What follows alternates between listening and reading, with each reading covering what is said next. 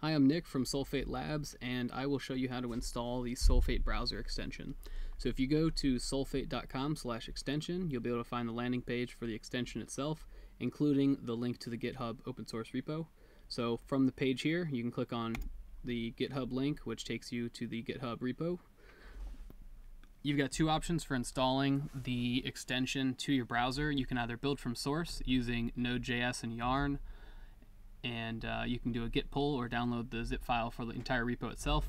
Or if you go to the releases page and go to the most recent release, which right now is just the very first one, and you can download the zip file that's inside of here, which will have just the uh, build files themselves. So if you download that zip archive to your computer, and then you can go ahead and open it up in your preferred zip editor, or rather zip archiver. In this case, I've just got 7-zip. So extract the build folder from inside the archive into anywhere on your own computer itself. In my case, I'm on my desktop inside of a solfate folder. And then back to your browser itself. You want to go to the browser tab page for Chrome extensions. In this case, I'm using Brave browser, which is uh, you know built on top of Chromium.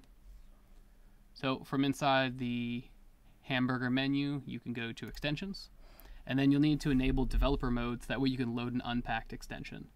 So click on the developer mode icon or toggle at the top right corner and load unpacked.